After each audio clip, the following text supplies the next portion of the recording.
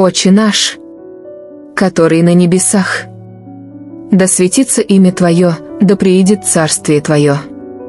Да будет воля Твоя и на земле, как на небе. Хлеб наш насущный дай нам на сей день. И прости нам долги наши, как и мы прощаем должникам нашим. И не введи нас во искушение, но избавь нас от лукавого. Ибо Твое есть царство и сила, и слава Отца, и Сына, и Святого Духа, ныне и всегда, и во веки веков. Аминь.